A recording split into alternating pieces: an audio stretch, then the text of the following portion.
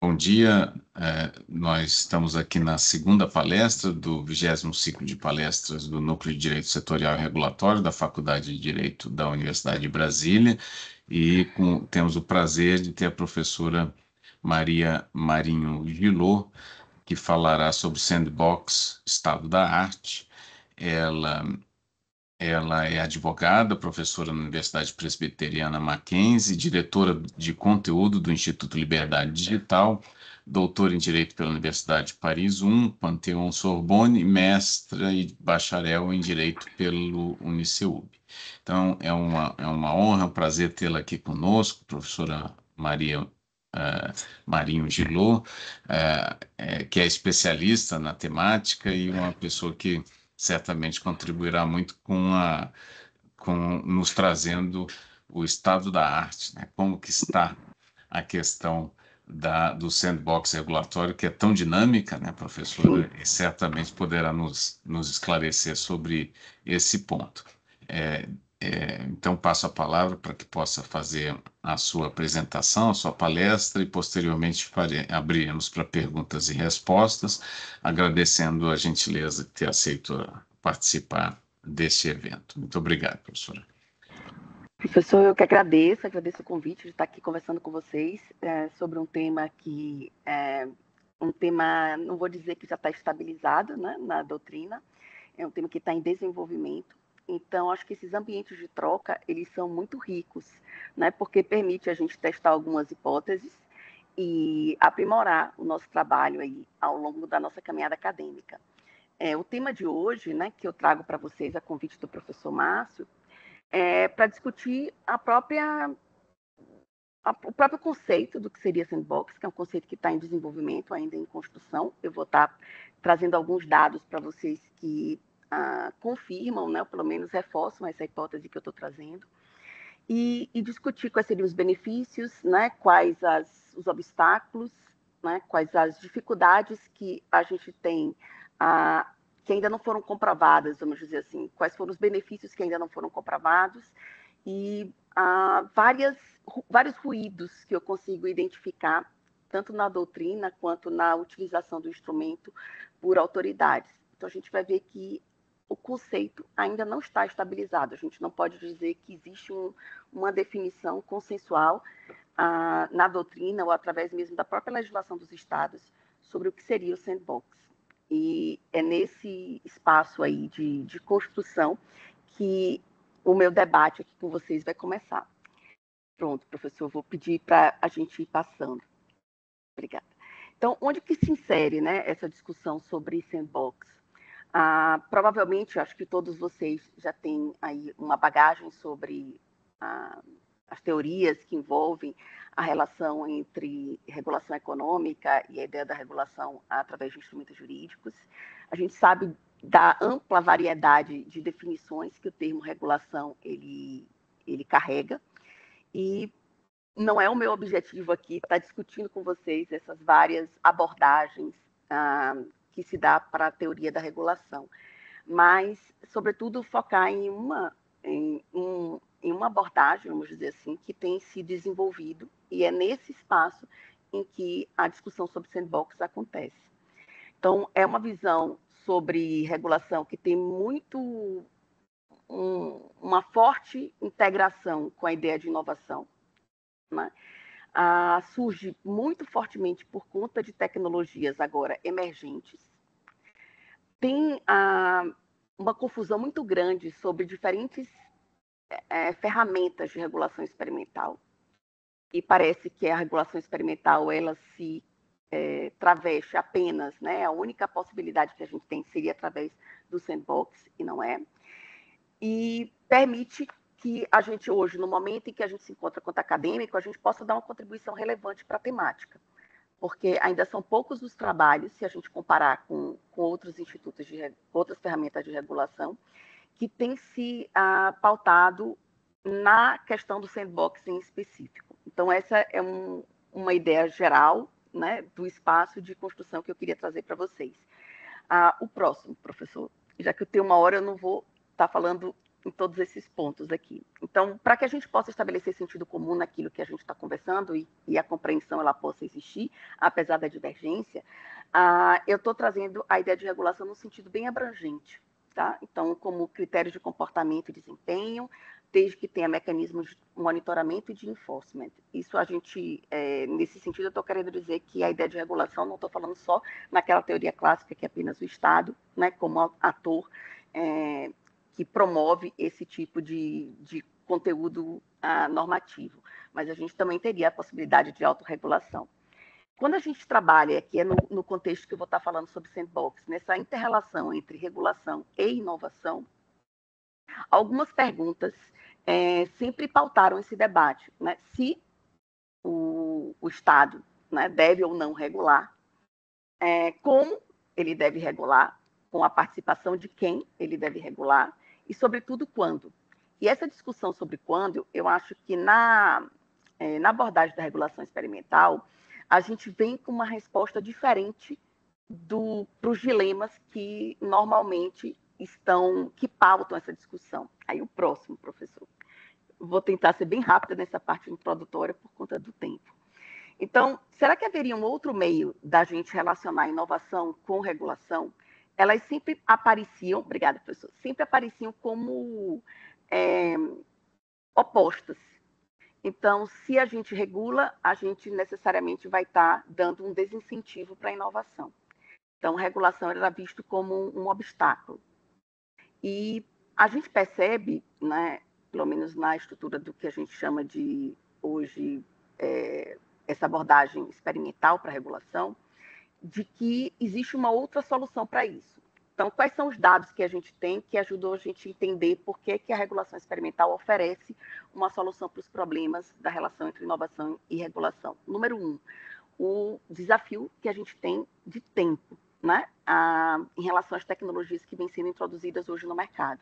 Para vocês terem uma ideia, para se alcançar 25% de difusão de uma tecnologia lá a, sobre eletricidade nos Estados Unidos, demoraram quase 50 anos. Então, quando o legislador decidiu né, trazer elementos, regras e regular o setor, ou a prestação desse serviço, ele teve bastante tempo para verificar qual era o impacto que essa tecnologia tinha para a sociedade e qual seria o papel do Estado, né? o quão relevante ela seria é, em termos de infraestrutura, quais seriam os direitos dos consumidores. A gente teve bastante tempo. Então, esse tempo aí de 50, quase 50 anos para que a tecnologia alcançasse 25% da população, fez com que os instrumentos que a gente tem hoje de construção de políticas, sobretudo do âmbito do legislativo, ele tivesse uma, um, um conjunto de dados né, práticos no momento em que fosse é, construir a legislação. Então, a gente vê que com o telefone, a cada vez mais as tecnologias e o, o, tempo de difusão ele vai sendo reduzido. Mas chegando aqui um outro exemplo que a gente trouxe, é dos smartphones, que a gente está a menos de, de 10 anos para um grau de difusão aí de, 20, de, de 25% da sociedade americana. Então, o primeiro problema que a gente tem, será que a solução que a gente tem lá desde o século XVIII, né, século XIX, sobre produção normativa, né, através do legislativo, ela, ela atende a, a esse tempo de difusão da tecnologia, a gente percebe que, como a tecnologia vem sendo difundida num intervalo cada vez menor, o tempo do legislador parece que está em descompasso com o desenvolvimento tecnológico. A gente não teria dados suficientes de teste para que, no momento que a legislação fosse produzida, a gente tivesse uma certa confiança sobre a relação entre riscos e benefícios. O próximo, professor. Aí vem a questão do quando, né?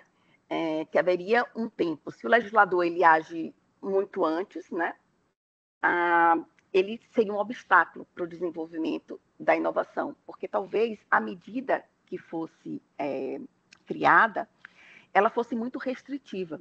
E como a gente ainda não saberia com um grau de certeza, ou um maior grau de certeza, qual seria a relação entre custos e benefícios, a gente teria, a tendência seria a gente ser mais restritivo.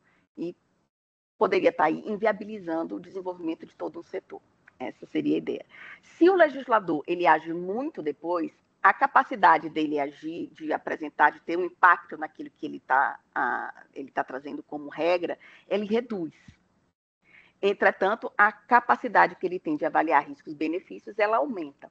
Então, a gente teria é, essa dificuldade entre o controle e a gestão dos riscos. Aí, o próximo, professor. Então, quando aqui ainda era importante. O outro ponto é o ponto que a gente ilustra naquele, eu ilustrei para vocês naquele primeiro gráfico, né? Que é um ponto de ritmo. Então, o desenvolvimento tecnológico tem um ritmo, o tempo para a maturação, para o desenvolvimento de regras de natureza legislativa teria outro ritmo, que não estaria em compasso aí. Então, a gente sempre teria um, um, a lei ou a legislação em um passo atrás, como sempre tem que ser do desenvolvimento tecnológico, mas em razão do tempo de difusão dessa tecnologia, cada vez mais os instrumentos se tornariam é, menos efetivos. E esse é um, um problema que a gente teria ah, para o Estado. Então, a gente chega no próximo, professor. Isso aqui é brevemente esse contexto. Então, essa discussão sobre si, como, com quem, quando, é, quando a gente está falando de, do uso de instrumentos de regulação experimental, a gente não está mais focado no quando, a gente está focado na qualidade daquilo que a gente vai estar tá fazendo e a quantidade de informações que o regulador ele detém a ponto de poder desenvolver regras que ajudem e beneficiem o setor. Então, a ideia da regulação, ela não vem mais como um empecilho, mas como uma ferramenta de incentivo. Então, como que nós podemos utilizar das ferramentas de regulação como um mecanismo de incentivo à, à produção de, de tecnologias que atendam aos objetivos sociais. Não sei se vocês têm percebido, mas a discussão hoje sobre inteligência artificial é um bom exemplo. A gente fala que a gente quer desenvolver sistemas de inteligência artificial que sejam responsáveis, né? que eles sejam sustentáveis. Então, a gente já está dando um objetivo é, para que o Estado, é, de alguma forma, intervenha para a produção desse resultado. Aí, o próximo, professor. Aí a gente pergunta, e se, aí vem a, a discussão, a gente pudesse utilizar os, os instrumentos de regulação como incentivo à inovação, e a gente pergunta que tipo de inovação o Estado vai estar colocando aí suas, ah, é, suas, sua estrutura para estar incentivando. Para isso, aí vem o próximo, a gente tem uma mudança de paradigma. Ah, e nessa mudança de paradigma, ela está muito associada à capacidade que nós temos hoje de coletar e também assimilar e extrair inteligência de dados.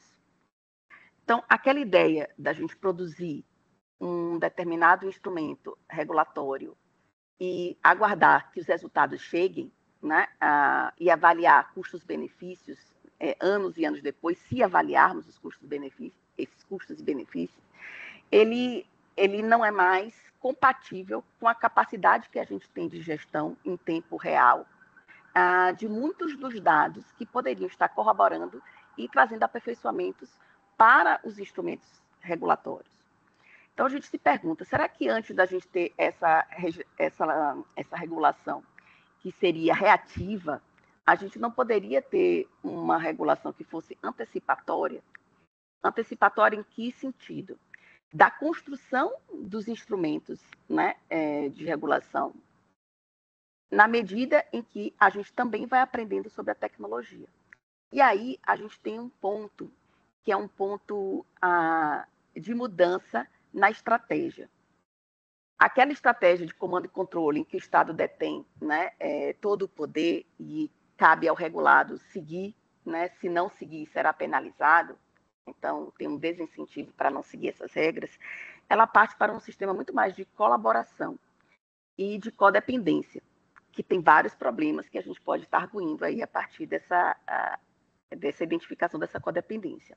Que seria o quê? O Estado, é, dentro das suas possibilidades, a gente observa, sobretudo em tecnologias emergentes, uma assimetria de informação. Então, enquanto o setor privado ele tem um conteúdo é, muito maior sobre a questão de riscos e benefícios, né, pelo menos para determinados produtos, sobre determinada tecnologia, naquele estado da arte onde ela se encontra, não é o mesmo caso para o regulador. Né? Ele não detém todas essas informações sobre essa tecnologia. E para que o, o, regulador ele consiga criar regras né, em um ecossistema aí, é, com grau de previsibilidade e segurança para os consumidores né, e até para outros competidores, o que, que a gente vai precisar fazer? A gente vai precisar ter acesso a essas informações. Como que a gente pode estar criando, então, um, um ecossistema né, é, com regras que ajudem esse mercado a prosperar, se a gente não entende exatamente como essa tecnologia funciona? E se a gente esperar muito tempo para essa tecnologia chegar ao mercado, a capacidade do Estado de estar interagindo né, e produzindo os resultados que ele precisaria, ela, ela, se, ela reduz. Ah, e os riscos e danos aos consumidores, eles também seriam potencializados. Então, quando a gente fala sobre essa concepção de regulação é, experimental, a gente está utilizando de experimentos em uma pequena escala, né, a partir de tecnologias ou de soluções, não só tecnologias, mas soluções inovadoras, que a gente ainda não tem ideia do impacto que isso poderia ter num, num, numa escala maior, mas a gente faz a, a opção de fazer esse teste, coletar esses dados, né, para trocar informações com o regulado, quem está aí no, no, no desenvolvimento da tecnologia, né, é, no seu maior nível. E a partir desse processo de compreensão e de aprendizagem contínua, a gente vai estar produzindo um conjunto de regras que sejam adaptadas e também possam promover uh, um incentivo à inovação para determinados objetivos. E isso impõe, né, é, pelo menos essa ideia do que se chama, né, tem se chamado de regulação antecipatória, a gente percebe uma série de nomenclaturas diferentes, tá, gente? A gente tem nomes como é, ágil, né? A OCDE está utilizando muito essa nomenclatura agora. A gente tem governança 2.0. A, a, tá como eu disse para vocês, está numa fase ainda de é, ainda que não há consenso. Mas o que, que a gente percebe em relação a isso? A gente percebe que existe um papel do legislador ah, pelo menos do, do, legislador não, mas do regulador, no sentido aqui do infralegal mesmo, tá? de estar tá produzindo em, em, conjunto e em contato e em colaboração né, com os desenvolvedores dessas soluções inovadoras, um aspecto tanto de aconselhamento, né, de adaptação da própria regulação que já existe, que está em vigor, para atender a essas especificidades, ou até mesmo antecipar para espaços ou locais ou tecnologias que não têm nenhuma regulação, uh, ser o momento de você estar tá produzindo a partir desses conteúdos que vão sendo ofertados, dessas trocas que são é, realizadas a partir de ambientes é, pré-concebidos. E sobre esses ambientes que são pré-concebidos pelo legislador para essa troca, é o que a gente vai estar falando hoje, onde se insere a discussão sobre sandbox. Né? Quando a gente fala sobre regime jurídico experimental, né, tentando trazer para uma definição mais precisa, a, a gente, como eu disse, estamos no momento de construção é, conceitual. Então, tem a, autores que trabalham com a ideia de um regime legislativo, né, então, tanto no legal quanto no infralegal, em que existe uma condição temporária e também geográfica ou temática, onde uma determinada solução será testada por um, um intervalo de tempo e, a partir disso, conteúdos, é, aprendizados serão é, alcançados que permitirão um aprimoramento dessa futura legislação ou regulação. Né? Quando a gente pensa é, nesse aspecto, acho que no conceito, é, sobretudo da, da, professora Sofia, para quem está trabalhando com, com, o tema dela, eu acho que é importante a gente ter alguns cuidados. Né? Ela fala muito sobre regulação, é, sobre ferramentas, né, regime jurídico experimental, e ela coloca um, como experimento, não sei se você já né, também se debruçaram no trabalho dela sobre isso, ela coloca como experimento ah, e como modelo algo que para nós aqui no Brasil seria meio confuso. Por quê? Ela coloca as experiências é, o que a gente teria aqui como uma competência, que é uma competência a, da União, né? A União ela teria a oportunidade, teria a competência para estar é, legislando sobre determinados. Essa competência ela pode ser exclusiva, ela pode ser concorrente, né? ela pode ser complementar. E os estados, a União aqui, daria este poder para que os estados pudessem, a partir de regras que seriam gerais, criar seus regimes específicos. Né? Isso funciona muito numa lógica de Estado unitário, onde ela fez a pesquisa dela de como é, que esses seriam é, ambientes experimentais, né? para futuramente isso ser passado para todo, é, para todo o Estado. Eu não acho que seja o caso da gente. A gente não usa a palavra de regulação experimental quando o Estado, diante da ausência de uma norma de natureza federal, produz uma, uma solução. A gente não entende isso como um experimento, né? Então, só tomar cuidado com aquilo que ela chama de experimental para aquilo que para a gente seria considerado como experimental. A gente entende que está dentro das atribuições da competência de cada uma das esferas é, federativas, né? E apesar da gente poder estar tá utilizando dessa experiência como um exemplo, né? E a gente não entende isso como um piloto. A gente não, não estabelece um sistema de coleta de informações para ser compartilhada por todos os entes da federação, ou então compartilhados com a União, para que a União depois venha tomar uma, uma medida que fosse escalável. Então, acho que tem essa pequena diferença em relação à, à abordagem é, aqui. E na segunda é mais uma metodologia, né, que seria mais um processo para a gente estar tá coletando evidências em relação a custo-benefício. Então, não é nenhuma abordagem, é um método. Né? Ah, para o próximo, professor. Então, a gente vê aqui que tem uma série de definições, mesmo se existe um, um, uma nova abordagem, se é apenas um método, é, se são apenas ferramentas. Aqui, quando a gente fala de regulação experimental, então ela está nesse contexto de um ambiente antecipatório, que visa o experimentalismo em todas as suas fases, o que significa que gera aí um dever para o legislador de fazer com que aqueles dados que são coletados ao longo do processo, eles subsidiem a nova ou a adaptação da, da regulação ou a criação de uma nova. Né?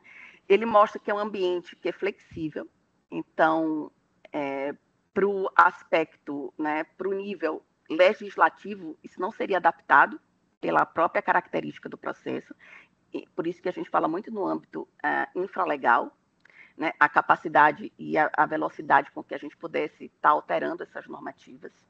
Exige um, um aprendizado constante do legislador. Então, não existe um momento em que a gente vai começar a coletar os dados. Os dados eles são coletados ao longo de todo o processo, né? E esses dados vão estar subsidiando aí é, a criação de, norma, de, de, de novas normativas. E é um, um, sistema baseado em evidências. Então, qualquer alteração que tenha que ser feita é, na regulação, ela tem que ser fundamentada nos dados que foram coletados. Né? Não é apenas uma decisão é, projetiva é, de o que é que determinados autores acreditam que seria, ou a experiência de determinados estados, mas a própria experiência daquele ente, que, daquele setor que está sendo regulado, uh, ele estaria aí fundamentando uh, as mudanças na regulação. E ela parte do pressuposto de um ambiente de cooperação, onde há confiança entre regulador e regulado. Né? Então, quais são os objetivos desse, desse modelo? Né? Identificar, é, no intervalo de tempo né, factível aqui, quais seriam os potenciais riscos e quais seriam os espaços para os desafios que, de regulação antes que essa tecnologia ela atinja um grau de difusão é, que dificulte para o Estado estabelecer algum tipo de controle né, e reduzir os danos para os consumidores. Ela prevê é, o objetivo de desenvolver soluções que sejam adaptadas, então, que nem o peso da regulação seja excessivo, nem a proteção do consumidor ela, ou dos mercados né, ela seja insuficiente. Ela visa estar lado a lado aí com o inovador, né, fazendo com que haja um espaço de aconselhamento e de aprendizado ao mesmo tempo, a, tanto para o regulador quanto para o regulado, e um ambiente de produção de dados contínua, né, em que permite essa flexibilidade, né, mas uma flexibilidade que tem aí é, a, sua, a sua fundamentação nos dados coletados. Quando a gente fala sobre instrumentos, aqui a gente tem uma discussão, uma, uma confusão muito grande aqui no Brasil. Muito grande, eu vou estar tá explicando para vocês mais lá na frente, de onde que vem essa confusão. Vem da própria, da própria lei. Né? A lei, ao meu ver, confunde termos, o que vai tornar muito difícil o diálogo daqui para frente. né, se nenhum ajuste for feito. A gente tem várias modalidades, várias ferramentas de regulação experimental. O sandbox é um deles. Né?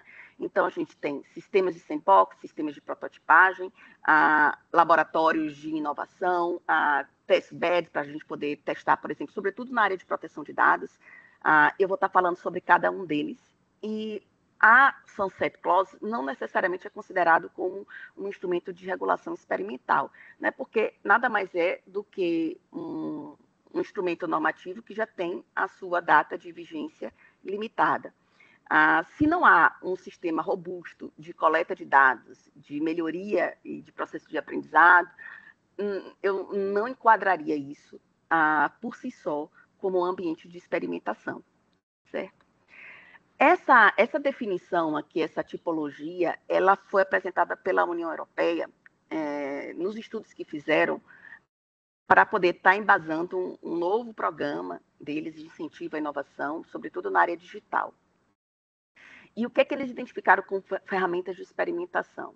Que teria, se o objetivo, né, eles, eles, eles é, forjaram, né, criaram, perdão, essa, essa tipologia a partir da finalidade. Então, se a finalidade, a natureza, ela é mais tecnológica da inovação que eu estou testando, ela entraria nos test bed. Por exemplo, eu posso estar utilizando de um ambiente que o meu objetivo é verificar a eficiência de determinada tecnologia.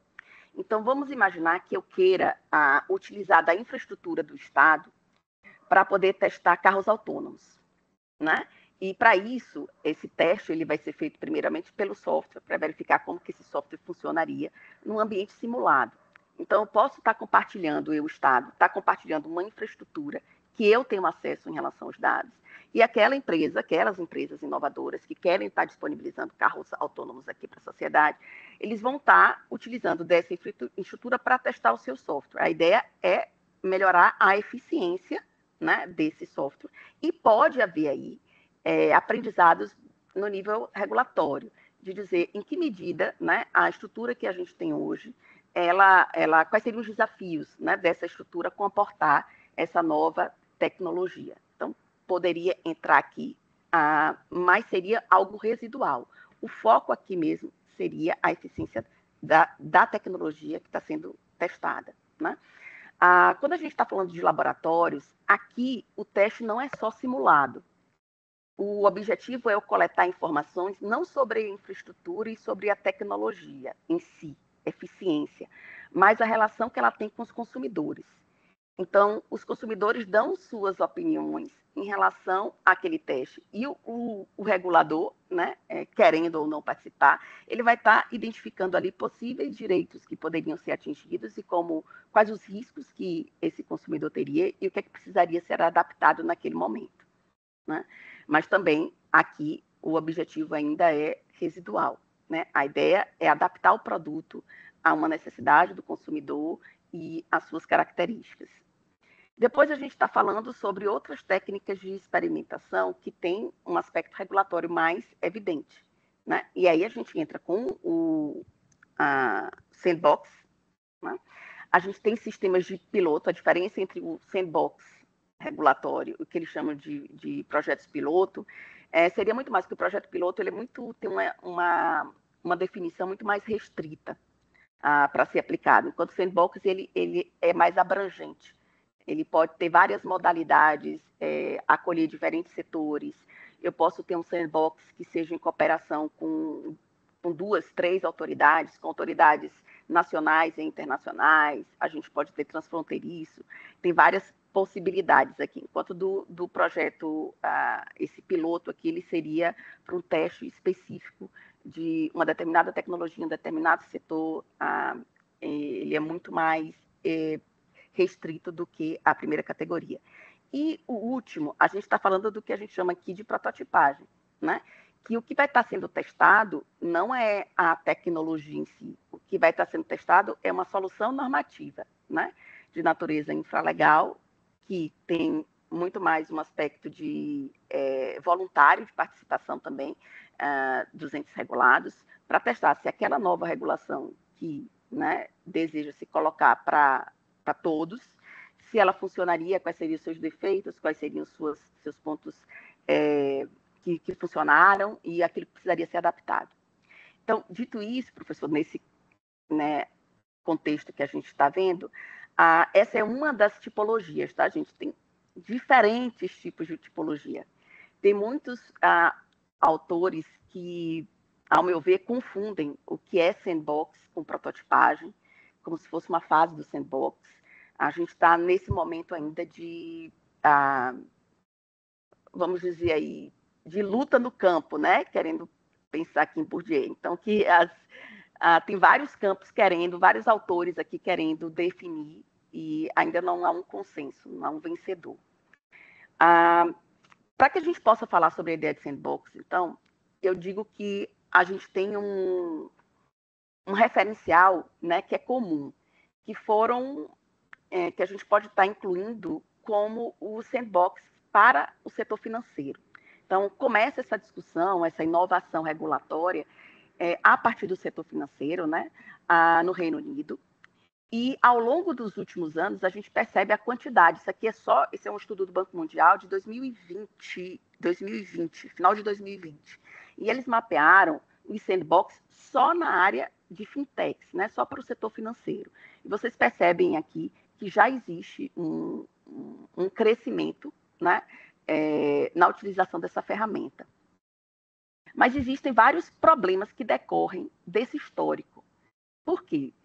Ah, o sandbox, quando pensado para o setor financeiro, ele tem algumas características. Características essas que não são repassadas, ao meu ver, para o conceito de sandbox para outros setores. É, aquele mesmo risco que a gente corre quando um produto chega no mercado e a gente associa o produto à marca. Né? É, eu dou o exemplo de maisena. Né? Todo mundo associa maisena, que é a marca, ao produto amido de milho. Mas amido de milho, a gente tem vários, várias empresas que oferecem amido de milho. Né? Isso não significa que seja a maisena. Maisena é uma marca específica. Então a gente acaba associando um nome como se fosse definidor de toda uma gama de produtos. E qual o problema aqui em relação à definição de sandbox, tendo como referência o setor financeiro?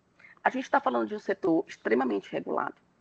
E quando a gente fala de um setor extremamente regulado, o uso dessa ferramenta experimental né, tem, é utilizado muitas vezes para é, derrogar determinadas obrigações, né, que teria aí uma, uma barreira de entrada para alguns autor, atores, e também para testar essas tecnologias que teriam muita dificuldade de chegar ao mercado se não tivesse esse, esse espaço de aconselhamento contínuo também. Né? E verificar se aquela regra que já existe, né, que já vem sendo aplicada, ela faz sentido para essa inovação que está entrando, no, que vai entrar no mercado, que pode entrar no mercado. Então a gente está falando de um, um, um, um, setor extremamente regulado, em que a retirada, a derrogação de determinadas regras faz sentido. Né? Não é o caso, e por isso, muitas vezes, a gente associa o termo sandbox, que para ser considerado sandbox, deveria haver é, alguma medida que deveria ser derrogada, senão não é sandbox. Então, tem autores que utilizam desse exemplo do setor financeiro e incluem como uma característica indispensável para ser configurado sandbox essa derrogação, o que eu não, é, não acredito. Né? Então, acredito que esse ambiente de, de experimentação é um ambiente que tem características que a gente consegue definir. É, e essa não seria uma delas. Então, tentando construir aqui o conceito com vocês, ah, vou tentar ser um pouquinho mais rápida, mas vamos tentar juntos, elemento por elemento. Então, o primeiro seria um instrumento de experimentação regulatória, tá? E como instrumentos, ele vai ter critérios de comportamento, de regulação comportamento e desempenho, vai ter mecanismos de monitoramento e mecanismos de enforcement. Né? Ele é um sistema que parte de uma concepção colaborativa, é o próximo, professor. Então, que ele vive a, a cooperação de os índices regulados e o, e o regulador, aqui, sobretudo, na simetria de informação sobre o desenvolvimento dessa nova tecnologia, e o regulado, que gostaria de entender como aquele serviço é, ele poderia, no futuro, ser regulado pelo regulador. Então, a, ali existe ali uma troca de, de, de informações que garante para aquele que está investindo na inovação a maior segurança e para aquele que quer regular conhecimento sobre o desenvolvimento e funcionamento daquela tecnologia. Então, é um espaço que permite teste, inovação aqui, a gente não está falando só de inovação de produto, a gente também está falando de inovação de processo, né, de abordagens, é, no sentido mais amplo do, do sentido de inovação.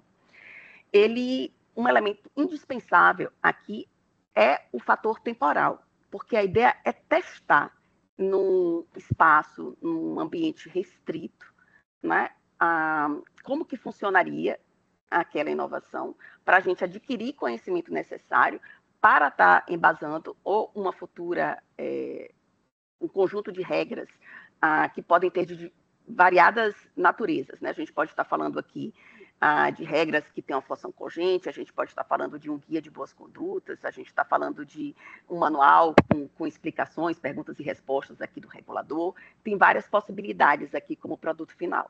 Mas a ideia é que seja durante um determinado período de tempo, que seja um ambiente real. Tem muitos que ainda podem colocar como simulado, mas eu entendo que ser um ambiente real aqui seria relevante, né? A partir de um plano e de um projeto específico. Então, para ser considerado sandbox, a, a gente tem que ter um grau de segurança, né? Porque a gente está falando também aqui de um ato que vai vir da administração. E esse, esse grau de segurança, eu tenho que saber qual é o objetivo que eu, eu preciso atingir com aquele sandbox, qual a justificativa para isso, né?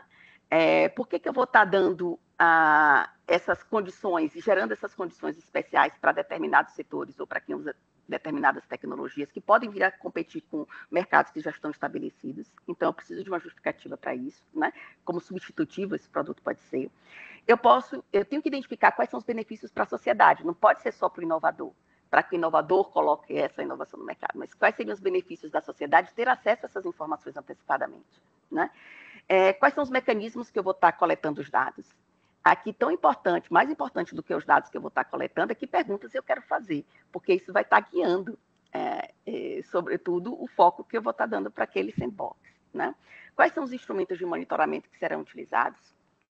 Né? Os instrumentos de avaliação. Nada impede, gente, que ao longo do processo é, identifique que aquele instrumento que foi pensado previamente, ele não atingiu os objetivos que foram é, imaginados e que possa ter algum tipo de adaptação.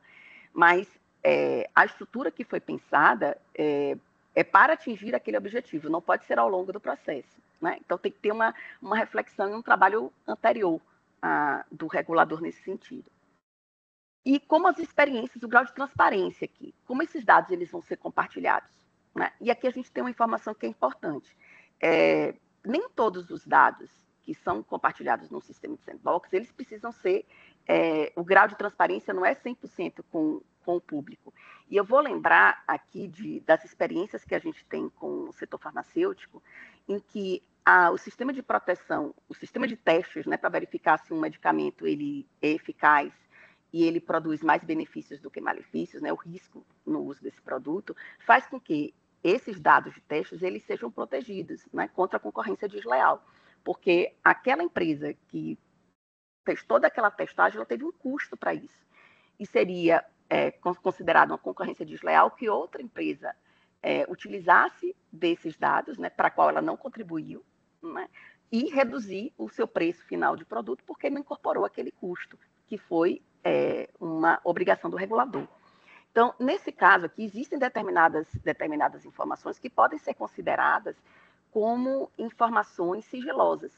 É, e aí, cabe, nesse processo de construção de confiança, também que a gente determine sistemas que estão, informações que estão protegidas por propriedade intelectual, por segredo de negócio, a identificar aquela informação que seria relevante para o regulador, mas que não poderia ser disponibilizada para o público. Tá? É, ela deve ser necessariamente monitorada por uma autoridade competente. Lembrando aqui no Brasil que a gente tem várias instituições que não são, é, é, não têm a natureza de agência regulatória, mas agem né, com, com uma autoridade competente para alguns mercados. Deve ter, desde o início, salvaguardas apropriadas. Então, caso, né, no teste, é, quais são os riscos que a gente não consegue é, admitir, né? E caso chegue a este risco, qual será a resposta que será dada, né? Se aquele cenário acontecer. E envolve também um apoio contínuo do regulador, né? Para que ele possa estar provendo ah, as respostas, né? Para as dúvidas que foram trazidas por aqueles que integram ah, o projeto. E aqui, nesse item que eu falei para vocês, que é o, o, item que tem muito dissenso, né? Qual seria o papel dessa suspensão? Ela é uma, uma condição inevitável ou ela pode gerar características? Existem sandbox que têm esse tipo de derrogação, existem sandbox que não têm esse tipo de derrogação. Eu acredito que o sandbox não precisa desse item como um item é, indispensável que a gente pode estar, tá, o que a gente vai estar tá avaliando, né, se exige ou não a necessidade de suspensão de alguma medida, depende muito do nível de regulação pré-existente, do nível do desenvolvimento daquela tecnologia e do próprio objetivo do sandbox.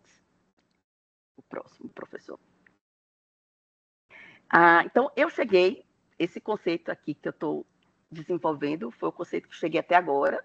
É, como eu disse, ainda é um, uma construção em desenvolvimento. E eu coloquei todos esses elementos que eu citei para vocês aqui como parte integrante da definição. Então, é um instrumento de experimentação regulatória, viabiliza a testagem de determinadas inovações em um formato de colaboração, em um ambiente real, que tem um número limitado de participantes e também de impacto, né, durante um determinado período de tempo e a partir de um projeto específico que contém um conjunto de salvaguardas, a mecanismos de monitoramento e é organizado e coordenado por uma autoridade que seja competente para tratar desse tema. Pode ser uma ou mais, né? Ah, isso vai depender do, do, formato do sandbox. Para vocês terem ideia como aquela a, a, diversidade que a gente tem de nomenclaturas, o Banco Mundial ele ainda tem uma tipologia para sandbox.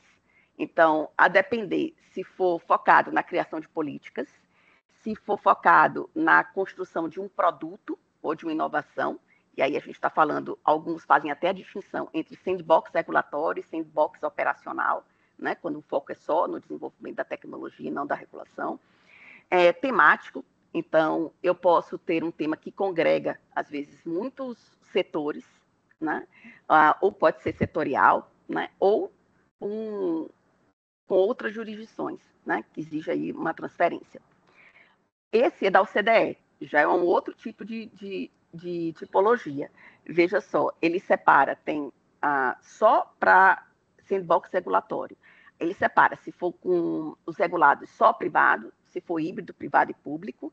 Depois, ele ainda determina se for por objetivo testar uma tecnologia, uma legislação, uma regra específica, ah, se é genérico, né? Ah, de repente é para o setor. E vocês vão, vão vendo como há uma diversidade de, de estruturas, até para a nomenclatura que a gente está utilizando. Professor, o próximo. Ah, quando a gente está falando sobre é,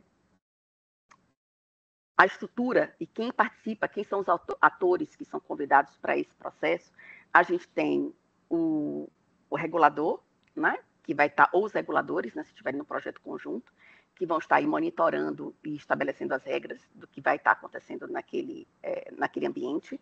A gente tem uma participação ativa, a gente tem que decidir de quem vai estar provendo essas informações, né? quem são os setores. Por exemplo, se o meu objetivo do sandbox é criar é, sobre inteligência artificial na área da saúde, é, e eu quero entender como que os dados sensíveis né, estão sendo tratados, não sei, pode ser um, um, objeto da minha, do meu trabalho. E entender como os sistemas de inteligência artificial estão sendo treinados com esses, é, quais são os riscos para a utilização desse, desse serviço, eu tenho já um setor bem definido. Eu já sei, é, dentro dessa cadeia de produção, quem seria interessante ter a, como experiência. Né? Eu estou falando só de laboratórios, eu estou falando de hospitais, né? quem que vai estar tá provendo essa, essa cadeia de informações? Quem são os, os, que, os os players nesse, nesse mercado. Ah, e um elemento que a gente tem discutido muito em razão da relação de cooperação entre regulador e regulado, que pode ser é, queijo pode ser capturado ao longo do processo, vamos colocar assim. É, muito tem se falado de um déficit de legitimidade desse processo, como se a discussão antes sai do, do legislador, né, onde tem ampla participação popular, em tese, para ser feito pelo regulador. Né? Então, em que medida a gente teria um grau de transparência sobre o desenvolvimento dessas novas regras e qual seria a participação da população nesse sentido? Então, é, uma das possibilidades que tem se aventado é que nessa estrutura a gente acabe criando é, instituições observadoras, por exemplo, é, de proteção do direito do consumidor, que participaria ao longo desse processo, né? teria acesso a essas informações, estaria acompanhando o desenvolvimento é, é, do próprio sandbox. E isso é um ponto ainda que nem todos concordam também. Para o próximo, professor. Ai, ficou errado ali. E no Brasil, como é que essa discussão tem sido feita? Eu já estou passando meu tempo, mas é porque eu comecei um pouquinho antes, vou precisar só de mais três minutinhos. A, a ideia de experimentação no Brasil não é uma ideia tão nova assim, né? Ah, entretanto, se vocês forem analisar a lei de liberdade econômica, sobretudo as regras infralegais decorrentes da análise do impacto regulatório, né, vocês vão verificar que a avaliação ainda é uma avaliação em que opõe inovação e regulação. Como se a gente tem que identificar o quão será, é, se a limitação pela regulação, é, qual o impacto, se ela é muito restritiva ou não é restritiva. Então, ao meu ver, apesar de ser já um passo em favor né, da coleta de dados e que a gente possa ter decisões que são é, mais fundadas nos dados da realidade do que de suposições, ela ainda parte de uma concepção entre regulação e inovação como opostos, mas já foi um passo à frente. O próximo, professor. Onde que o sandbox aparece? Ele aparece aí na, no marco das startups. Né? E a minha grande questão aqui com o uso do termo é que parece, pela leitura, que ambiente regulatório experimental seria um sinônimo de sandbox, né, regulatório. E eu entendo que a gente está falando de um ambiente, né? A gente pode ter outros ambientes é, de regulação experimental que não necessariamente seriam sandbox. E daí a dificuldade que eu acho que isso vai ter no futuro para a gente estar tá, tá trabalhando, por exemplo, com sistemas de prototipagem, né?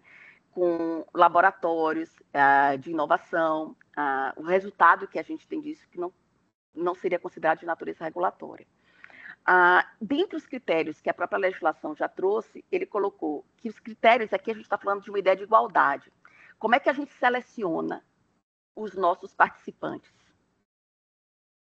Então, a gente teria que ter critérios e todos aqueles que integrassem, não, então, que é, a gente fizesse um check sobre aqueles requisitos, teriam condições de participar do processo. A, duração também deveria ser já especificada, né? E o alcance da suspensão e incidência de normas, se fosse o caso, né? Se fosse o caso. Vamos imaginar que a gente tem um sandbox como o da NPD agora para IA. A gente não tem uma regulamentação específica para IA. Que tipo de regra a gente estaria tirando? né? Não faria muito sentido, pelo menos para mim. Então, aqui no Brasil, quando a gente pensa sobre condições para que é, o sandbox ele possa ser utilizado, é uma previsão legal, né? É, que permita às agências, né, os, os entes a, que têm essa possibilidade de estar tá criando é, regulamentos, possa estar tá utilizando isso com subsídio, então tem uma, uma previsão legal. Há necessidade de uma abertura de edital, de espaços para consultas públicas, isso tem que ser um, ter um elevado grau de transparência sobre as regras. Determinar se haverá ou não é, derrogações, isso também tem que ser avaliado, em que medida essa derrogação não contribui de maneira desproporcional para que outros é, agentes que já trabalham naquele mercado não sejam tão desfavorecidos. Né? E a gente ainda está num processo de construção é, sobre que é que pode ou não pode fazer o, o, o regulador, né? Acho que são discussões que a AGU está tendo com o TCU, né? É, se haveria ou não a, a abertura, né? Quando a gente está falando sobre o, o, marco legal das startups, uma das perguntas que eu vi já nos, nos seminários é: mas não é para as startups? Será que a gente poderia ter outras empresas que não startups que participassem do sistema? E eu entendo que sim, né? Eu acho que até tem uma, uma inovação legislativa interessante que o Brasil está dando uma olhada, que é o regulamento, a proposta de regulamento da inteligência artificial na União Europeia, que um dos, dos elementos que ele coloca é que há, deveria ter um espaço né, privilegiado aí para as startups, mas ela não é único de startups. A gente pode estar trazendo outros agentes que muitas vezes para o regulador vai estar provendo informações que são muito relevantes, né? Ah, não adianta a gente pensar em, em desenhar um, uma solução é, regulatória normativa apenas para startups. É, é para a solução que tanto empresas grandes quanto startups podem estar provendo para o mercado. Então, acho que o interesse é, do, do regulador de participar desse tipo de processo é poder coletar essas informações e identificar em que medida determinada solução ela impacta muito negativamente empresas pequenas ou empresas grandes e como poder, poder fazer a dosagem né, dessa ferramenta. É isso, professor. Eu vou deixar o de prototipagem talvez para um outro dia por conta do horário, né? É, mas aqui vem algumas críticas, né, que têm sido feitas sobre os sandbox. Há muita politização do seu uso, como se fosse uma inovação, a pessoa quisesse criar algo, mas não, não, não, não vem com um, sistema prévio e robusto de regras específicas, de objetivo, de mapeamento de setor. Ah, não tem um estudo prévio que faça com que esse esforço, que também tem um, um, custo bastante elevado, ele produza os resultados que são ah, esperados, aguardados dele. Muitas vezes tem um término prematuro, então, às vezes, para eu poder coletar dados de verdade, né, que possam subsidiar uma futura regulação, eu preciso de um intervalo de tempo, né, porque a amostra ela vai ficar ah, é, insuficiente, né, a depender do tempo. É, avaliações insatisfatórias, ou seja, a metodologia não foi bem empregada, a pergunta que queria se responder também não foi bem definida, a, o formato não prevê um grau de transparência e compartilhamento dessas informações com a sociedade. Então, esses são vários e vários várias críticas que têm sido feitas à ferramenta e que a gente ainda pode aperfeiçoar. Professor, eu acho que eu vou encerrar aqui, não vou continuar com os outros, a gente ainda teria aí mais uns 15, 20, eu acho.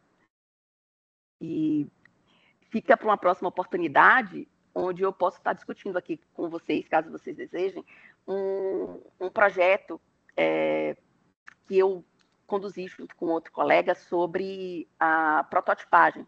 E a gente fez isso aqui no Brasil, teve um outro projeto ao mesmo tempo no Uruguai, testando uma, uma solução normativa. Mas fica para um, um outro dia, né? Que aí envolve uma outra, uma outra ferramenta. Muitíssimo obrigado, professora Maria é, Devassi Pinto Marinho. É, realmente é um tema tão no, inovador, novo, né, que é, quando nós ouvimos uma palestra que é, resume todos os, os caminhos e dá uma categorização lógica né, sobre os diversos tipos de experimentalismos, isso é muito importante para colocarmos os, os conceitos nos seus devidos lugares. Né? É, então, foi muito interessante a palestra. Eu, eu passo a palavra para o Matheus Farias fazer sua, o seu questionamento. Bom dia, pessoal. É... Bom dia, Matheus.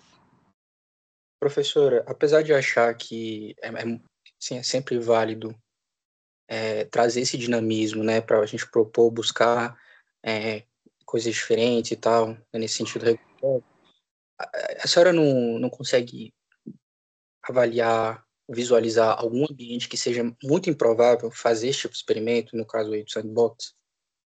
Ah, eu acho que o sandbox não foi feito para todos, né? Ah, ele tem um, é, não é uma solução, não é uma bala de prata, né? Para todo tipo de regulação. Não sei se foi essa a provocação, Matheus, me corrija se eu estiver errada. É, e por isso eu acho que a ferramenta a gente precisa entender para que ela serve, quando ela serve, né? Ah, porque senão a gente vai estar utilizando uma ferramenta que, apesar de nova, né, não é porque é novo que é melhor, né? Não é porque é novo que é adaptada. Então, onde que a gente viu que ah, o uso do sandbox ele é útil, né? Ele produz melhor, ah, os, ele produz resultados que compensam seu esforço. A gente vê isso muito em setores em que existe uma tecnologia emergente ainda pouco conhecida em relação aos seus riscos e benefícios. A gente vê um, um além do desconhecimento, né, dessa simetria de informação por parte do, do regulador, a gente vê que existe uma série de, de soluções que vão decorrer do uso dessa tecnologia e pode estar afetando determinados setores. Então, o, o nível, o, as empresas, qual o nível de desenvolvimento tecnológico dessa nova tecnologia também.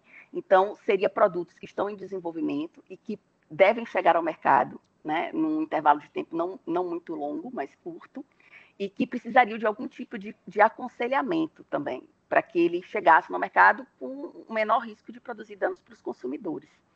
Então, é, não é para todos os é, ambientes que isso funcionaria, né? E eu vejo o sandbox muito também, é, Matheus, como um elemento de testagem de uma solução, né? Então, a gente tem uma solução de natureza tecnológica, ou a gente pode ter uma solução de procedimento, mas eu quero verificar o impacto disso num, num grupo pequeno antes que esses efeitos eles possam ser compartilhados por todos. Então, a, deveria haver essa relação de custo-benefício. E a outra pergunta que a gente pode fazer é: tem, eu, tem como eu, regulador, ter acesso a essas informações é, de outra forma que não através desse sistema de colaboração? né, elas já estão à disposição, o quão difícil seria acessar essas informações? Eu acho que são todas perguntas que fazem parte, porque é bastante custoso né, a criação de um sandbox. Muito obrigado, professor. Nada, Matheus. Não sei se eram essas. Se, se ficou alguma coisa com dúvida, foi a leitura que eu fiz da sua pergunta. Ficou muito claro. Muito obrigado. Nada, acho que tem, não sei a ordem. Acho que é Fernanda? Bom dia, professora. Consegue me escutar? Muito bem, Fernanda. Bom dia. Então, eu queria saber, é, na sua opinião, como, é, como incentivar para que, de fato, essas inovações em curso no âmbito privado, elas sejam levadas ao campo da regulação estatal por meio desse sandbox regulatório? Ah, existem várias estratégias, né? Então, a gente tem que entender aquilo que é mais relevante né, é, para a sociedade. Primeiro é o primeiro elemento, né? Não são todas as tecnologias que vêm sendo, que estão em desenvolvimento, a, que gera para o legislador ou para o regulador o, o interesse de, de intervir, né? Então a gente tem que identificar, pelo menos por parte do legislador, aquilo que seria considerado o mais relevante, né? Que teria um maior impacto no intervalo de tempo que ele consiga a, também absorver informações. Normalmente, o sandbox, ele agora para tecnologias emergentes, tem sido muito utilizada para o legislador capturar informações que eles não detêm. Vou dar um outro exemplo. Vou dar um exemplo para você que não tem sido utilizado, que eu acho que é um grande erro. Né? É... Quantas tentativas a gente já teve para regular o... as redes sociais? A gente teve vários projetos, um esforço legislativo gigante, né? a gente tem aí, pelo menos há uns 5 a 6 anos, é, projetos de lei que visam, de alguma forma, é, regulamentar ou estabelecer como, como uma conduta é, que não seria acolhida pela sociedade, é, desinformação, né, discurso de ódio. E a gente tem uma dificuldade muito grande de fazer com que essa, essa responsabilidade ou essa chegue à luz do dia, não é verdade? É, então, esse, para mim, é um exemplo interessante que poderia ser objeto de um sandbox, para que a gente possa ter é, como resultado uma regulação que, é, que funcione. Porque a gente está falando de limitar ou, de alguma forma, gerenciar a liberdade de expressão de 200 milhões de pessoas, né? É, sem ter testado antes nenhuma ferramenta. Eu acho isso um pouco preocupante. Né? A gente não sabe, e aí a gente vê muito nessas discussões com as plataformas, qual seria a capacidade técnica de determinadas sugestões que estão sendo feitas no nível legislativo. Então, a gente tem aí um limite da própria arquitetura. Né? Ah, então, esse é um exemplo é, que eu traria, que poderia ser objeto de um sandbox e ah, reduziria o risco de uma regulação que fosse ou ineficiente, porque não atingiu o resultado desejado, ou é, que limite um direito como uma liberdade, como uma liberdade de expressão, de maneira demasiada. Perfeito, obrigada. Acho que é a Ana Beatriz. Né? Isso. Bom dia, professora Maria. Bom dia. Bom dia, Ana. Vocês me escutam? Tá baixinho? Sim, te escuto bem. Estava bem baixinho, mas agora estou te escutando melhor. Eu queria agradecer ao professor por trazer esse tema para a nossa palestra. A gente já havia conversado em algumas aulas ainda presencialmente é, sobre sandbox. É, foi tema da, do concurso para especialista de regulação de serviços terrestres da. Jura? Juro, foi. Que legal. Muito legal. Eu, eu me senti muito entusiasmada quando vi a proposta do tema da, da redação e gostaria de ter tido essa palestra, esse momento de contato previamente, antes mesmo do concurso, né? Para sanar algumas questões que me, me atiraram, até mesmo durante a, a, a prova. É, dentro da proposta que a NTT traz sobre o uso de sandbox, seria o uso da inteligência artificial no, no monitoramento de uma frota ferroviária. Legal. E, e essa inteligência artificial traria é, acesso e dados no monitoramento da frota é, em, em, dados, mesmo que a, a, NTT se mostre limitada a ter acesso a isso, e organizar mesmo a estrutura diária da, da frota e que essa empresa pudesse fazer possíveis aprimoramentos, uma gestão de rotas, é, minimizar alguns custos é, operacionais, aprimorar a qualidade do serviço. É, e aí me surgiu vários questionamentos, porque o uso de inteligência artificial, para mim, é, nesse contexto, é, é, necessário. A gente já tem um georreferenciamento para localização da nossa malha ferroviária no Brasil, mas eu fiquei um pouco instigada com a, a produção de dados. E um dos pontos que eram propostos né, para essa redação era o impacto né, nesse acesso aberto aos dados, né, que seriam se, tornariam públicos e para além do acesso público, é, como um todo, um, um quesito de transparência. E assim ficou durante muito tempo na minha cabeça é, essa essa temática. Eu fiquei voltando a estudar esse ponto até por não encontrar segurança no uso de inteligência artificial num contexto geral, mas não na dinâmica do, da, da, da questão dos transportes terrestres, é, dos transportes ferroviários. Então, era isso. Eu queria que a senhora pudesse me dar uma luz. Olha só, que legal, Ana. Fico, nossa, fiquei muito feliz aqui com o seu, seu comentário, até saber que o tema está sendo discutido aí ah, é, como critério de ingresso, né? Ah, então, é, o que significa que a escolha de perfis né, que, que estejam voltados também para novos instrumentos, né, essa abertura de espírito, isso é, me, eu fico bastante feliz. Ah, que uma das dificuldades maiores que a gente tem agora com ferramentas de regulação experimental é exatamente a questão cultural, né? Em que medida a, a nossa, os nossos servidores e a própria estrutura normativa que rege é, ajuda a ter esse espaço de constante aprimoramento da própria norma, né? De você estar tá recebendo os dados e esses dados serem aí o motor. Ah, na sua pergunta, né, em que medida a gente não tem nenhuma regulamentação é, sobre o uso de sistemas de inteligência artificial ainda no Brasil? Se, ah, como que vocês iriam estar utilizando desta tecnologia para esse objetivo, a qual grau de segurança que vocês teriam para o ajuste desse sandbox, pelo que eu entendi é isso. Ah, é isso mesmo? Não sei se, eu, se a minha leitura foi correta. É, é está corretíssimo. Ah, eu acho que nesse caso é um caso muito específico, Ana Beatriz. Eu não teria problema de dizer que há ausência de uma lei, né? E eu vou estar criando algo que eu não teria competência. Eu, eu não vejo dessa forma.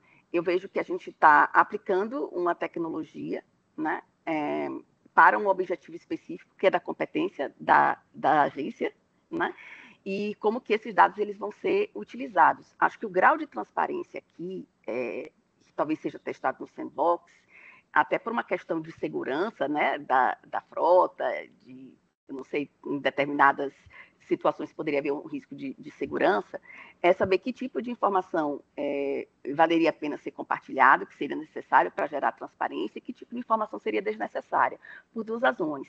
Porque a gente desinforma com muita informação. né? Se a gente coloca muitos dados, as pessoas que são é, desnecessários, a gente, a pessoa que busca essa informação, ela vai ficar tão submergida na quantidade de informações que ela não vai acessar aquilo que ela precisa, não vai conseguir nem identificar aquilo que seria relevante para ela. Então, acho que tem é, o, o, uso do sandbox pode ser interessante para isso. Às vezes vocês não vão saber nem o volume de informações que vocês vão estar recebendo com o uso desse sistema novo. Então, talvez seja uma das perguntas, né? Qual a quantidade de informações, qual seria a capacidade que eu teria que ter, até mesmo tecnológica, para estar abrigando isso? Quanto tempo eu tenho que guardar essas informações? Né? É, quais seriam os setores que seriam ah, que eu poderia estar compartilhando ou não essa informação dentro do próprio sandbox?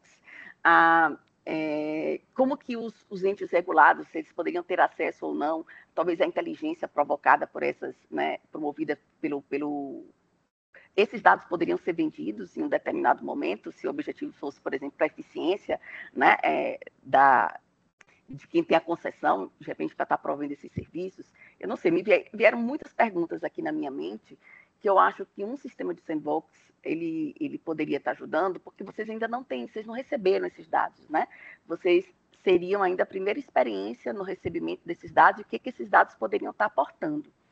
Então, é, eu acho que, num primeiro momento, no desenho que eu vejo, eu não vejo nenhum problema pela inexistência de uma regulação sobre inteligência artificial, é, nada que inviabilize a existência do, do, do, do, trabalho. O que tem, e aí a gente teria que tomar cuidado, é em relação aos dados que serão coletados. Né? Não vejo até agora nenhum dado pessoal. Né? Pelo que você traça aqui, não vejo nenhum dado de natureza pessoal. Né? O que a gente verificaria seria como que essa coleta de dados aconteceria, é, para que função, né? E que pergunta, sobretudo, você vai estar querendo fazer para que esses dados possam estar provendo para vocês informações que ajudariam vocês no futuro, né? Eu, eu, eu tentaria organizar a coleta de dados com essas perguntas, né? Que dados é, é, essas, esse instrumento ele é capaz de fornecer, que dados seriam relevantes, que dados seriam relevantes para o consumidor, quais aqueles que deveriam de alguma forma ser protegidos, ter um grau de segurança aí sobre ah, o transporte de determinados produtos, ah, e como que a inteligência que vai estar surgindo desses dados, eles seriam utilizados para constante melhoria do próprio, do próprio sistema que vocês estão criando ah, e que controle né, vocês estão buscando em relação a isso? É, me vieram muitas perguntas aqui, viu, Ana? Essa é a graça da gente poder estar trabalhando com, para nós que somos pesquisadores, né?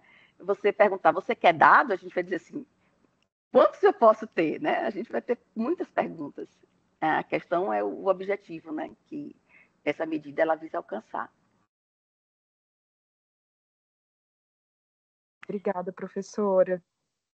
E boa sorte. Ah, vai dar tudo certo. Bem, a Bruna de Mello, por favor.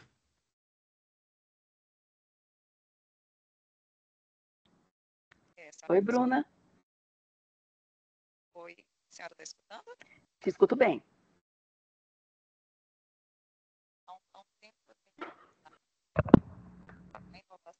Bruna, agora está muito baixinho. É, não sei se é, se puder colocar a boca mais Melhorou? próxima do microfone. Melhorou? Sim. Melhorou. Melhorou? Sim. Então, há algum tempo eu, eu tenho estudado algumas questões relacionadas à inovação na administração pública. E o que me perpassa é que hoje a gente tem até um arcabouço normativo até robusto né, em relação é, a esses novos instrumentos, né, tanto essa questão do ambiente regulatório, mas, como, por exemplo, soluções inovadoras e os demais instrumentos trazidos pela lei complementar do, do marco legal das startups. Só que a minha percepção é de que isso ainda é muito desconhecido né? Assim, e principalmente o que me, o que me carece é que é, eu trabalho no governo do Distrito Federal e minha percepção é que, por exemplo, dentro do Distrito Federal ainda é mais desconhecido ainda.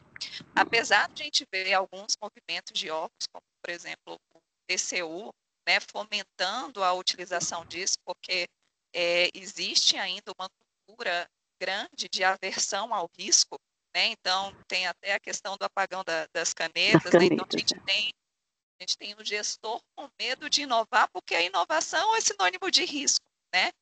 E eu acho que tudo também está muito envolto, né? É a questão da mudança da, do, do ecossistema de inovação, né? Então eu fico me perguntando, né? Porque outro dia eu escutei é, aqui um, um, gestor do Biotic, né, que é o Parque Tecnológico do DF, justamente colocando para os órgãos, olha, aqui a gente tem um ambiente para sandbox, enfim. Só que eu, eu, vejo realmente uma falta né, de, de comunicação entre esses, esses órgãos, né, entidades, enfim, sociedade, dentro do, do modelo agora que já está aqui, da sexta hélice, né? É, e aí a, me, a, minha questão é, é é, para a senhora, o que, que a senhora acha né, que, que poderia de fato mudar um pouco nessa questão dessa, dessa, desse desconhecimento, né? E, e o, qual que seria o papel da, da universidade né, para, olha, dizer assim, eu, eu, posso servir enquanto, é, é, não, não mecanismo, né, mas como um apoio realmente dentro desses, desses novos instrumentos. Ah, legal. Nossa, Bruna, concordo inteiramente com você quando você fala sobre é, a disseminação, né?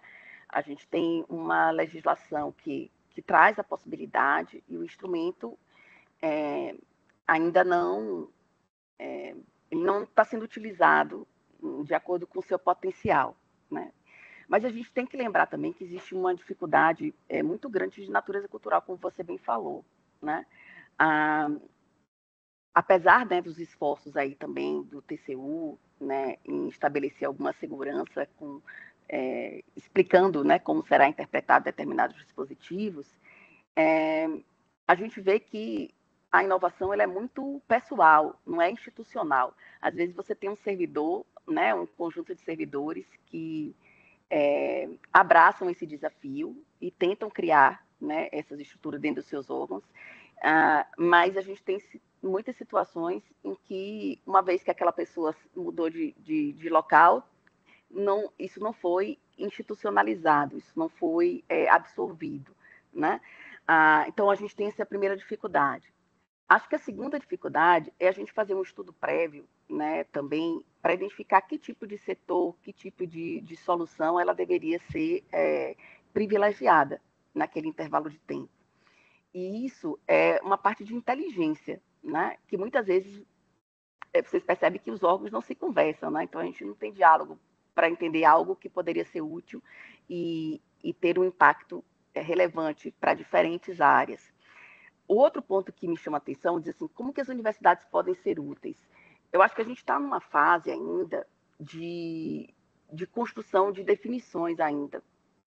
Acho que a universidade ela tem um papel de explicar os institutos, de trazer estudos que demonstrem é, boas práticas, né?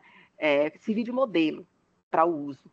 E a outra parte que eu acho que é muito importante é a gente entender que existem é, vários outros instrumentos de experimentais em favor da inovação, que não é só o sandbox. E aí eu vou dar um exemplo para você do DF, um exemplo simples. Muita, muito, muitos municípios e estados né, estão falando sobre smart cities, né, da importância da gente ter, como é que a gente vai estar trabalhando os dados e como que esses dados aí com o uso de sistemas de IoT, né, como é que vai estar sendo compartilhado. E a gente ainda não tem, é, pelo menos eu não vi nenhum em grau de desenvolvimento aí alto, um, uma ideia de como que é, o Estado, por exemplo, vai estar criando ambientes de testagem com a sua infraestrutura de dados. Por exemplo, trânsito. Né? O DF tem uma série de informações sobre o trânsito e como funciona o trânsito no DF. Não é isso? A gente tem essas informações. Vamos imaginar que eu queira testar aí meus carros autônomos. É um, um exemplo louco. Né? Será que a gente tem ambientes de testagem que permitam a essas empresas é, testar no ambiente aí controlado e ainda que seja simulado determinadas soluções, eu acho que a gente pensa muito numa é, é, tecnologia que está lá na ponta, que já vai estar tá entrando no mercado. Mas eu acho que a gente tem um papel de, é, de redução de risco aí, e até de estímulo para a inovação, quando a gente cria infraestruturas também que são compartilhadas. Né? Então, essa ideia do laboratório, essa ideia desses test beds, desses espaços onde a gente pode estar tá testando e treinando, sobretudo quando a gente está fazendo inteligência artificial, que a gente pode estar tá testando algumas das soluções, eu acho que é um espaço de desenvolvimento aí, a, é, tanto para municípios quanto estados, quanto o governo federal. Um outro espaço que eu acho também muito é, propício é o de RegTech, né? Então, que a gente está desenvolvendo uma nova tecnologia para ajudar no controle e monitoramento. E a gente pode estar tá testando essas tecnologias ah, é, nas nossas diferentes atividades. Ah, e isso pode ser também um, um, um, protótipo, algo que vocês, que o Estado vai estar tá testando. Não é só esperar que o, o privado venha nos procurar. Eu acho que é criar um ambiente de inovação que seja favorável próprio, às próprias funções do Estado. Né? O Estado como inovador, não só como um, um ente que capacita a inovação, ou permite a inovação, ou facilita a inovação para os demais. Né? Por que não ser o próprio Estado um dos seus primeiros próprios clientes aí nesse processo?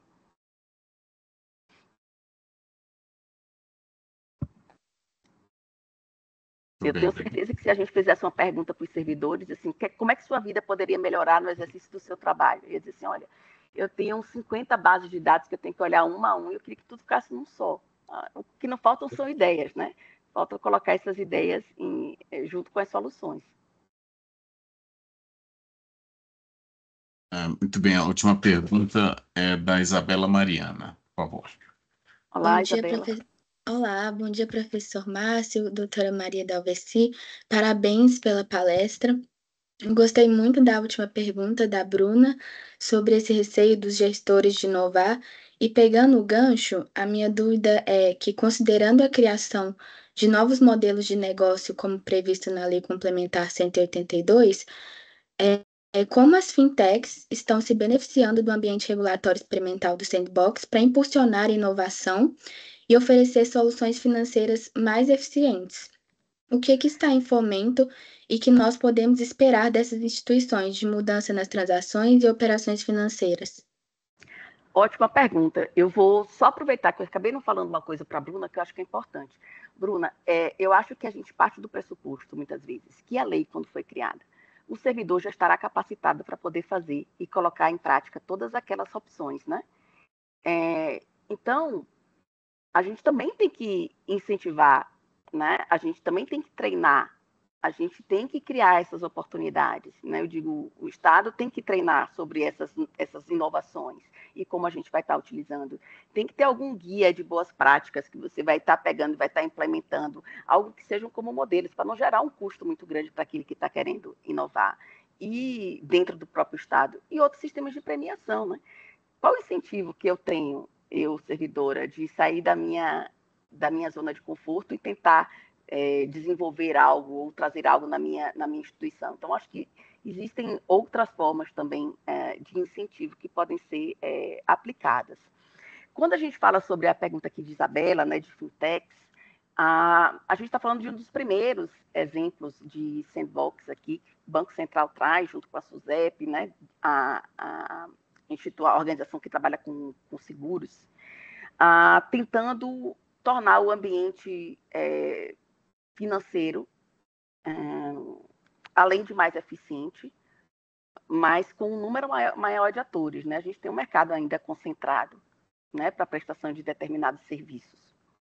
E o que eu acho que o Banco Central tem feito muito bem né, é, ao longo dos anos, se a gente for ver as primeiras iniciativas, a gente tem na figura do Banco Central né, um espaço de testagem.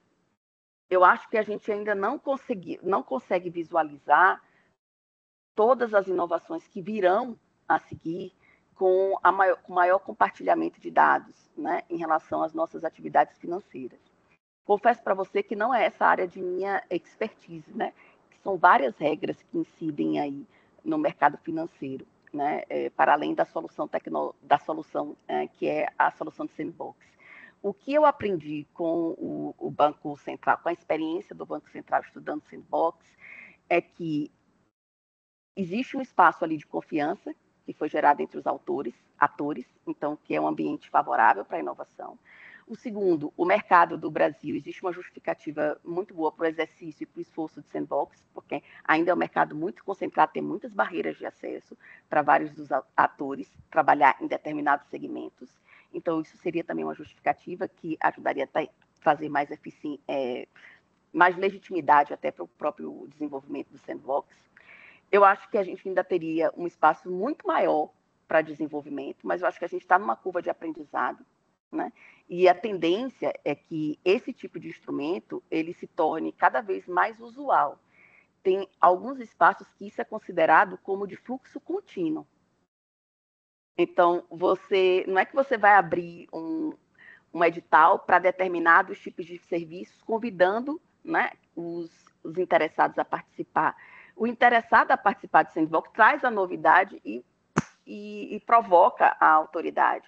Isso num, num, sistema de fluxo contínuo. Então, eu imagino, pelo menos essa minha a minha ideia que diante da experiência que já foi acumulada uh, pelo Banco Central, a tendência é que esses espaços de inovação sejam cada vez mais é, presentes, né? E, própria, e, da própria constituição mesmo do, do, do banco, né? Da sua própria finalidade. Pelo menos é essa a esperança que eu tenho. Obrigada. Posso? Ah, pois não, pois não. É, e, e, lembrando que a inovação nunca vem só do privado, né, Isabela? Só para deixar claro aqui, o Banco Central já inovou em várias outras áreas, né? E trouxe para a gente várias soluções. Então, só para a gente não achar que o regulador ele aguarda o regulado trazer a inovação. Muitas vezes a inovação está vindo do próprio regulador. E essa eu acho que foi a parte mais interessante aí das experiências com o Banco Central. Muito bem, muito obrigado, professora Maria Pinto Marinho. É, eu acho que é, Gilô, né? É, é, eu, eu agradeço muito a sua, a sua, a sua palestra, foi muito esclarecedora, muito, muito interessante é, para todos nós que somos da área jurídica. É, um novo instituto ele gera sempre é, possibilidades de interpretação, é, inclusive com a, com a ideia de que é, não, mesmo não sendo um elemento essencial, a possibilidade de suspensão de disposições normativas regulares né, faz com que é, é, tratamentos de exceção possam ser restritos exclusivamente aos casos expressos de sandbox, e isso é um argumento jurídico que não existia antes do sandbox. Né? Não teria como se se trata trabalhar o tema dessas limitações de, de núcleos essenciais, de direitos fundamentais e coisas desse tipo. Então, é, é, o tema do sandbox, sem dúvida, é um tema importantíssimo para o avanço, avanço da nossa ciência e, e não poderia ter sido melhor a exposição didática completa, percussiente da professora Maria Marinho Gilô. Então, é, agradeço novamente em nome do Núcleo de Direito Setorial Regulatório, professora, pela sua, pelo seu tempo, a sua generosidade, a sua gentileza. E, evidentemente, a última palavra é sua, por favor. Ah, eu que agradeço, professor Márcio, pela oportunidade de estar discutindo aqui com vocês. É, é, que venham outras oportunidades né, para a gente poder estar discutindo sandbox aí, tanto aqui na UNB como aqui no Mackenzie, nas instituições de vocês. Acho que, a, como toda solução nova, né, que ingressou no ordenamento é, de maneira recente, a gente tem uma série de dúvidas e, e possibilidades de crescimento. Como eu estou no ambiente acadêmico, eu acho que eu termino com um convite, né, para todos aqueles que estão querendo, estão pensando num problema de pesquisa, estão querendo escolher uma área de contribuição, é, talvez essa seja uma área de contribuição, né, que ainda carece de muitos estudos e que você poderia, diante das suas experiências, a gente viu aqui a Ana Beatriz, que já está com essa experiência dela na NTT, que poderia estar tá trazendo uma visão também acadêmica sobre a, aquilo que você vem, vem vivenciado e, assim, contribuir para que o tema continue sendo objeto de evolução. Ah, então, nós acadêmicos aqui estamos compartilhando esse espaço, né, a gente também tem esse dever. E todo mundo fica, às vezes, se perguntando, meu Deus, qual o problema né, que eu vou que eu vou estar debatendo, que qual vai ser minha contribuição. E fica aqui então meu convite, gente, para por mais medo que a gente tenha de estar eh, desenvolvendo temáticas que existe pouca literatura, existe também um grande benefício, né? Que é um benefício criativo de você poder ter uma contribuição que venha aportar a, algo para o estado da arte. E eu fico à disposição de todos vocês, né? Caso se interessem em continuar com essa discussão em, em outros espaços.